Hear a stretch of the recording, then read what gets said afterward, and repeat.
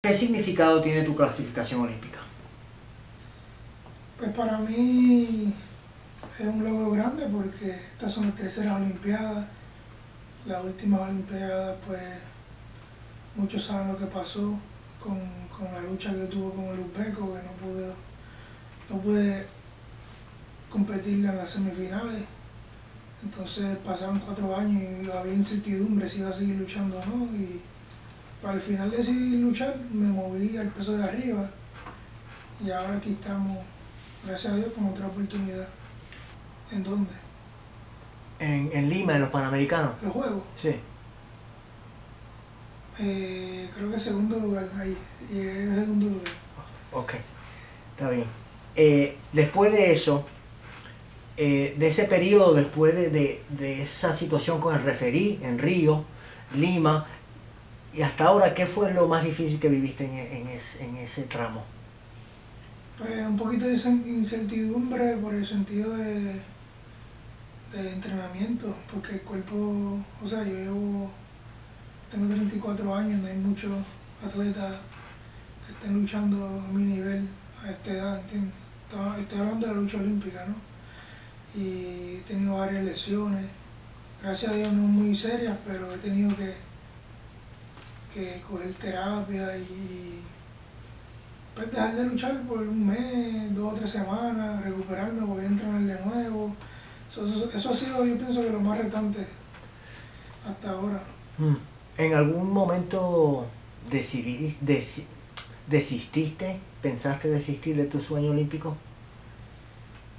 Pues llegó un momento en que me, me he lesionado como dos o tres veces seguido y dije, wow, mano, Dios, ¿será que, tú no quieres que yo luche? O como que qué está pasando aquí, qué tú quieres que, yo haga. Y entonces fuera de las lecciones, pues el cuerpo mío estaba como que bien cansado cuando entrenaba y me como que estaba, estaba bien como confuso si, si, si iba a poder recuperarme, si iba a poder o sea, mucha incertidumbre y, nada, yo en ese momento pues confié y dije, bueno, vamos a ver, porque todavía falta mucho tiempo para la Olimpiada, vamos a ver qué pasa. Tenía una lesión del hombro que gracias al COVID-19 pues eso me dio tiempo a recuperarme, para otro fue una maldición o algo malo, para mí mi caso fue de bendición. Solo ese tiempo de recuperación, pues el cuerpo mío como que me agradeció eso y, aquí estamos y, el cuerpo mío pues últimamente está respondiendo muy bien, no me estoy cansando tan, tanto después de un entrenamiento fuerte. Estoy como que, ¿qué está pasando? Ahora de repente tenía muchas lesiones y ahora, ahora el cuerpo mío como que está cayendo en un timing preciso. Que espero que, que sea de para bien, ¿no? Porque este es el momento de, estar en óptimas condiciones. Eh, eh, ¿cómo es diferente tu vida acá en Pennsylvania? Explícale a la gente cómo es estar aquí. ¿Cómo es estar aquí en, State College? Bueno, es una vida bien este, en disciplina. Esto es como tú irte a una isla, otra isla, y lo que se, lo que se hace es entrenar una tribu de luchadores la que vive acá, ¿no? Sí, aquí es una, una sede, por decirlo así, mundial de, hay, varios medallistas mundiales aquí, olímpicos también, entonces no es lo mismo tú entrenar en un lugar donde no hay tantos medallistas mundiales olímpicos, o sea, la diferencia de nivel es muy grande, incluso en mi propio peso, aquí hay gente de otros países y y eso me beneficia mucho. Es un reto, un reto brutal. Cada día aquí para el entrenamiento, para, tú, para, que te reten y para más. Claro, y así más o menos la, el Penn State, la lucha de Penn State, pues para los que no saben, ha estado entre los primeros de todo Estados Unidos por muchos años. Y aquí vienen gente, pero de los tops, de los tops.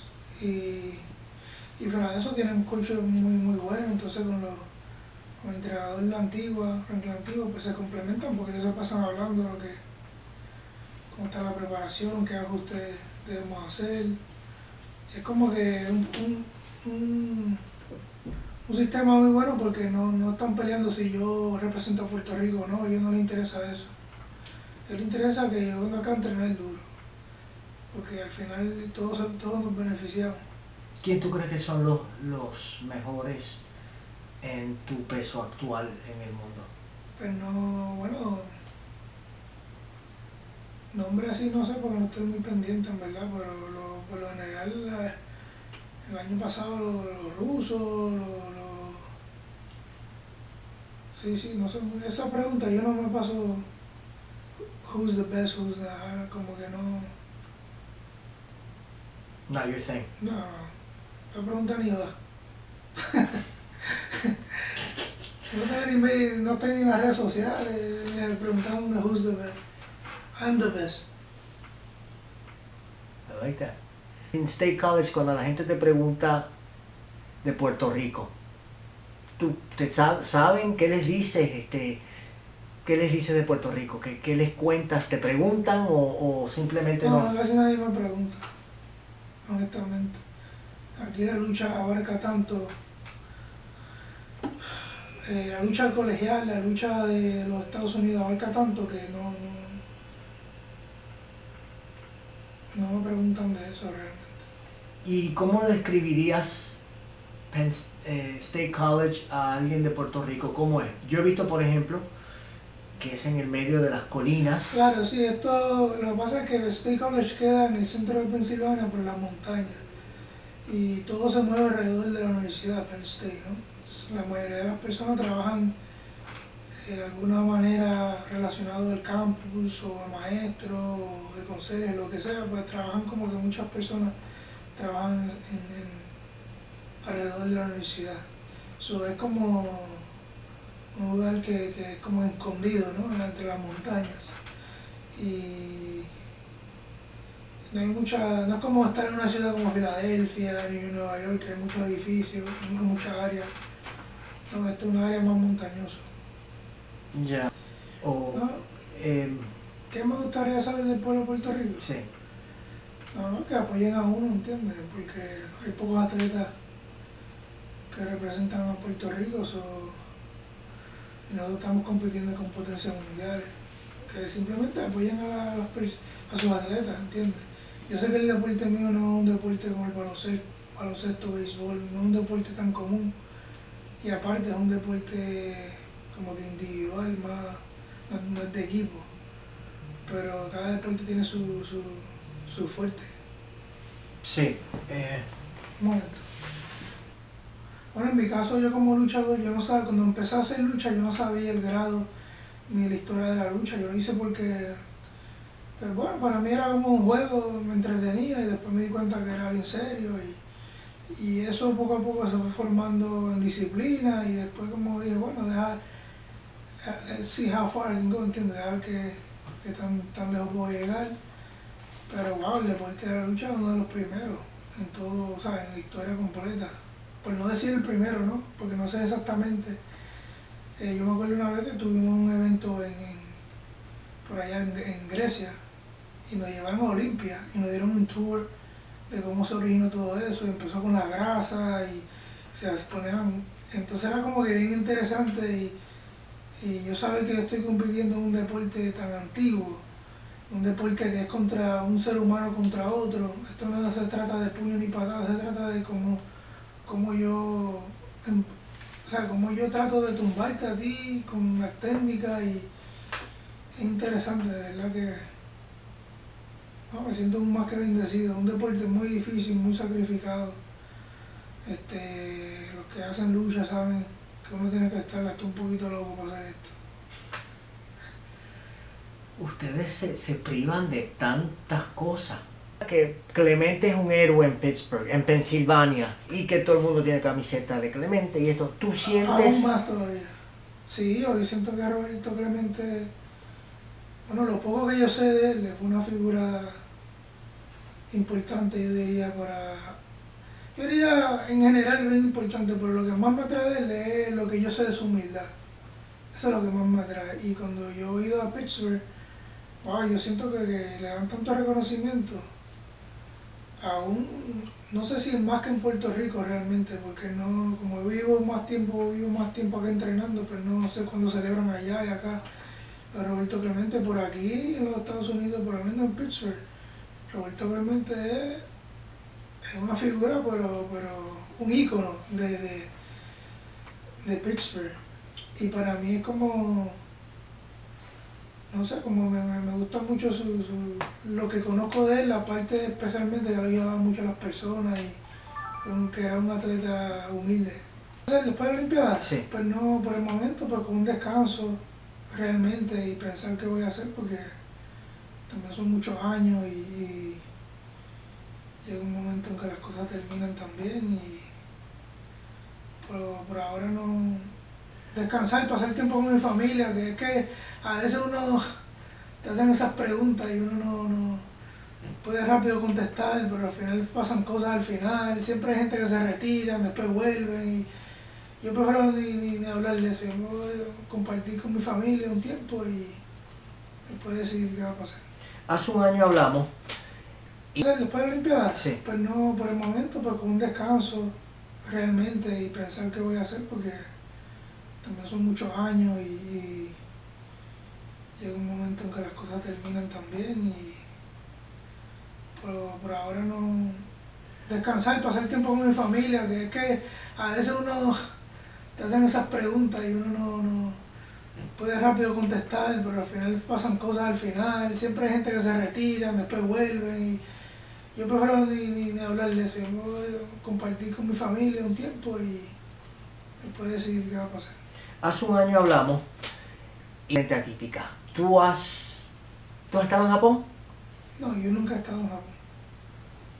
Entonces, este, entonces para ti va a ser... Sí, una Olimpiada bien única porque con la situación del virus y el estrés de eso, con todas las, todos los atletas, todas las, personas de diferentes países que han pasado por dificultades con eso, pues esto no va a ser algo típico, va a ser algo muy, muy diferente. De hecho, yo no sé si los atletas van a poder, si estás en la villa, poder salir así como antes, libres, o si van a querer que te quedes en, en tu edificio, con tu delegación, o sea, no... Bueno, ya estás acostumbrado, es lo que haces acá. Sí, sí, para mí, o sea, yo, las celebraciones y todo eso, yo solo dejo a la gente que le gusta celebrar, yo quiero hacerlo en mi trabajo. Hmm. Realmente yo lo más importante para mí es estar en las óptimas condiciones para representar a Puerto Rico dignamente. Sin embargo, decidiste no vacunarte. Sí, decidí no vacunarme porque este, en el pasado he tenido malas reacciones a otras vacunas y, desde que decidí no vacunarme, o incluso como el flu cosas así, eso me afectó muchísimo. Entonces yo digo como voy a escuchar mi cuerpo y, y nada, a veces yo uno, yo no quiero ir con lo que simplemente dice todo el mundo y ya, ¿entiendes? Porque yo quiero escuchar mi cuerpo también y, y nada, cada cual toma sus decisiones y las consecuencias que vengan, pues uno tiene que pues, asumir las responsabilidades después. Tú eres el único en la delegación de lucha que va a Tokio. Eso en sí aparentemente es un logro en, en longevidad. Sí, sí, yo pienso que nosotros en Puerto Rico tenemos que hacer mucho con poco. O sea, no es lo mismo, eh, por, lo, por, lo, menos personal, en mi caso del deporte olímpico, el deporte de lucha es muy pequeño en Puerto Rico, hay dos o tres clubes y, muchos clubes no están ni en serio realmente. En serio en el sentido que están ahí para desarrollar atleta a nivel mundial y todo eso, que está bien que hagan eso, ¿entiendes? Pero, pero incluso cuando yo luché mucho tiempo y sigo luchando en el Club Esparta, pues nosotros hicimos, hacíamos milagros con lo poco. O sea, yo estoy aquí sentado y estamos hablando de un club de lucha, de caparra, terra, luchando contra el mundo.